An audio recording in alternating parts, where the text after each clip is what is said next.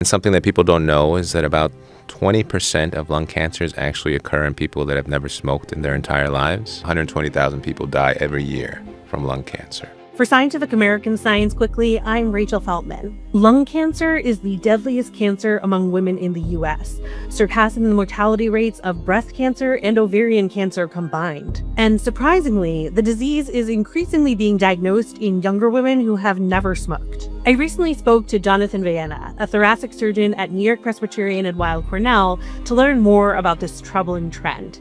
Here's our conversation. I'm here today with Dr. Jonathan Villena. He is a thoracic surgeon at New York Presbyterian and Weill Cornell. Thank you so much for joining us. Thank you for having me. So, our viewers and listeners uh, might be surprised to hear that lung cancer in women now tops uh, breast cancer, ovarian cancer combined. Can you tell us more about what's going on there? Yeah, definitely. So, in general, uh, lung cancer is the number one cancer affecting people in the United States, both men and women. If you look at the American Cancer Society, around 226,000 new cases of lung cancer are projected to be diagnosed in 2025. Um, of those, about 50% are cancer related deaths, meaning 120,000 people die every year from lung cancer.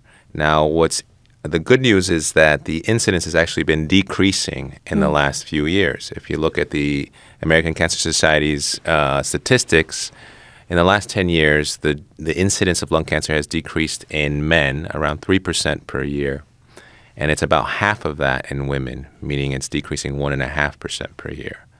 So, one of the reasons that they think that this might be happening is that there was an uptick in smoking in women around the 60s and 70s and that's why we're seeing a slight, you know, um, decrease in the incidence in men, but not so much in the women. What's more interesting and very surprising is the fact that when you look at younger people, meaning less than 65 years old, especially younger, never smoking people, there's actually an increase uh, of women in that subgroup. They're overrepresented, and that's something very surprising. Does the research offer us any clues about what's going on in this demographic of younger women? Yeah, so there's been a lot of research. So, you know, in general, and something that people don't know is that about 20% of lung cancers actually occur in people that have never smoked in their entire lives. This is something that we don't really understand why this happens to this one in five people, but there are some risk factors associated with it.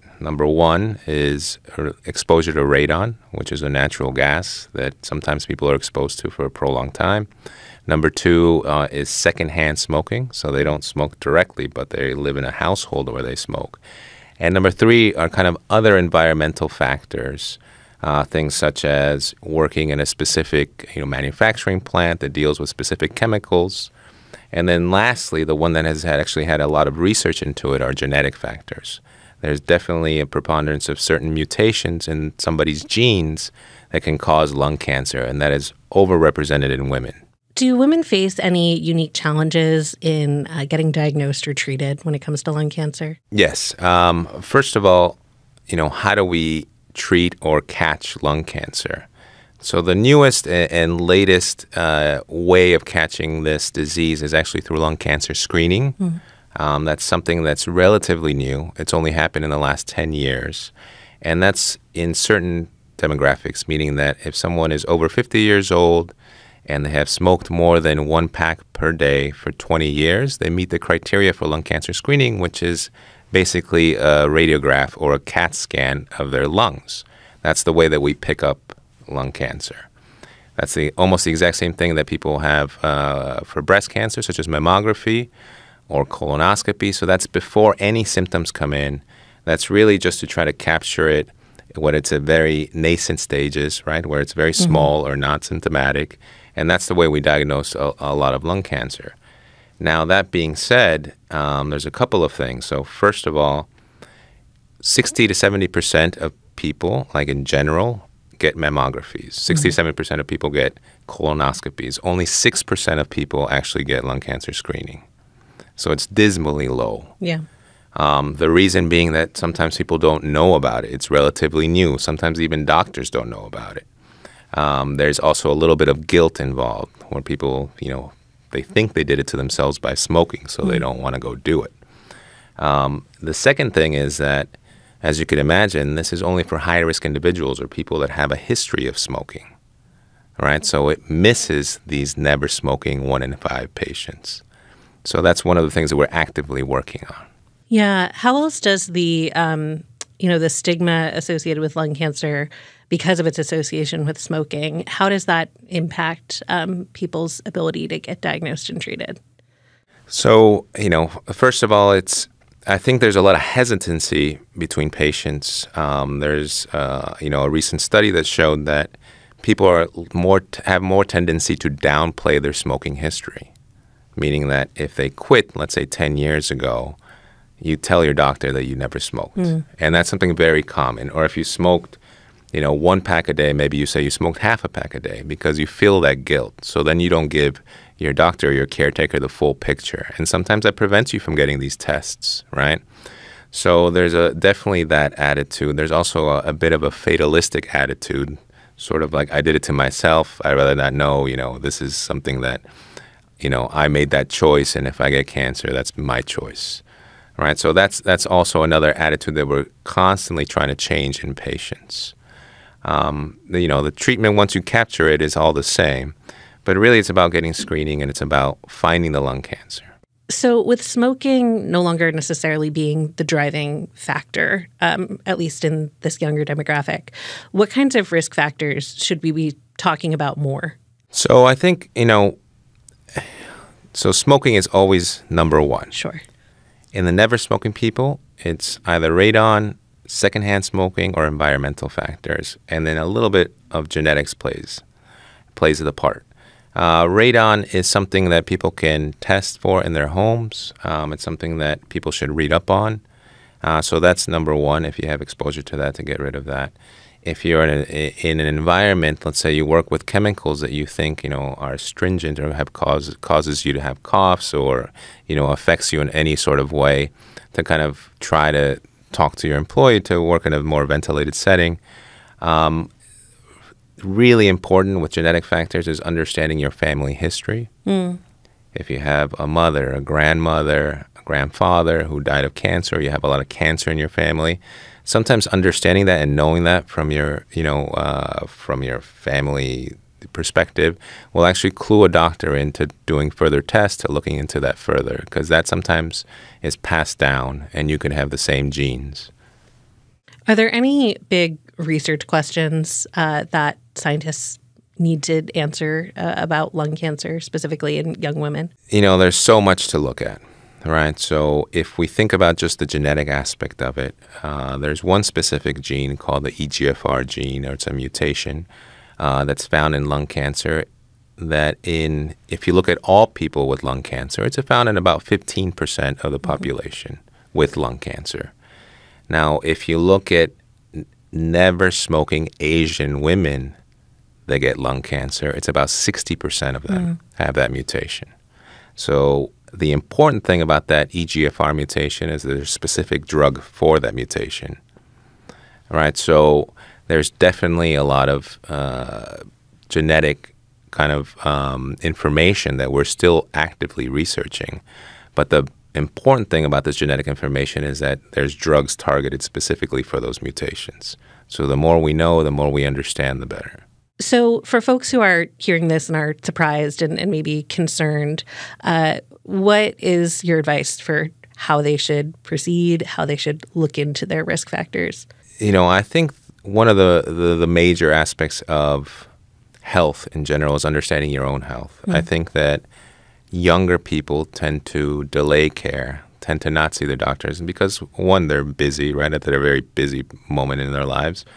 But second is that you know you don't want to deal with it, and you think that you will not get cancer, you, you will not get this disease because you're young and you've never smoked and you've never done anything bad. Mm.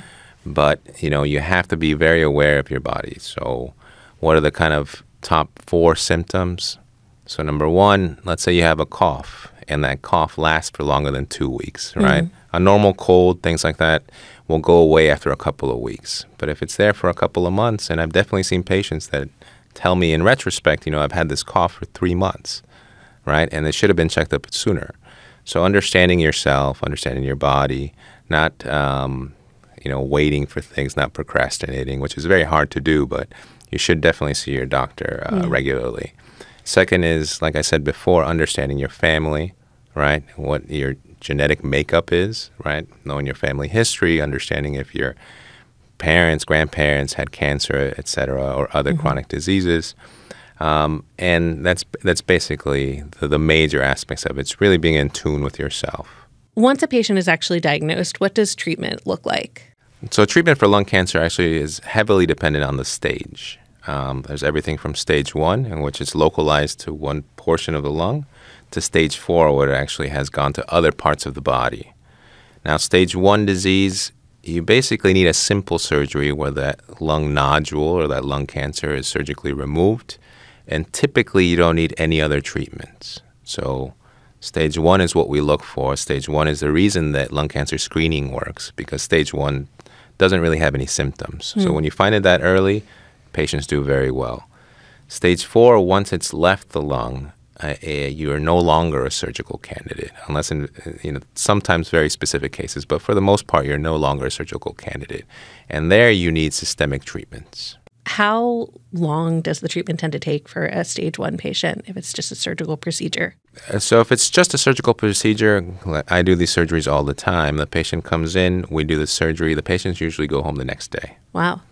and then we follow the patient and get CAT scans every six months for a long time to make sure nothing comes back or nothing new comes. Um, so it's pretty straightforward, and we do this all the time. Uh, we do these surgeries robotically now. Patients recover incredibly well, and they're out, you know, doing living their lives in a couple of weeks. So it's really something uh, very, very, very efficient. Yeah, so huge incentive to get checked early. Are there any uh, advances in treatment, you know, any new treatments that uh, doctors are excited about? Yeah, so there's two major steps forward that have changed lung cancer treatment. Uh, number one is something called targeted therapy. So that means that there's a drug that targets a specific mutation. So just how I was speaking about earlier about the EGFR mutation in young, never smoking Asian women, there is a drug that targets that mutation that has really shown amazing results at all stages now. And the second one is actually immunotherapy, which won the Nobel Prize, which is this idea that you can use your own body's immune system to kill the cancer cell. So, cancer is very smart. What it does is it evades your immune system, it pretends that it's part of your own body. And what this drug does is that it basically reawakens your immune system to recognize that cancer again and kill it. And we've seen amazing results even in the stage four patients where they are potentially cured of cancer, which, which, which we've never seen before. What motivated you to uh, get into this specialty? You know, I do have a family history of this. Uh, you know, an uncle that passed away from lung cancer, and he was a heavy smoker. And you know, I saw how it basically decimated his. He was a vi- life basically. He was a very vibrant guy. He was very active, and in six months he was gone. Right, and I think, you know, once I started getting into you know medical school and understanding things, one of the major things that I really got into was research, and I see that if my uncle had been treated 20 years ago, he potentially could have been saved hmm. because of these advances in research. And right now, we are right at the cusp where we are learning all these new things, and we actually have the tools to change how patients are treated. You know, and this every year there's a new treatment, which prior to that there was no new treatment. It was basically just chemo, and that's it. All right, so I think that that really motivated me, something that I can actually take part in and actually change the course for a lot of people. Well, thank you so much for coming on to chat with us today. This has been great. Thank you.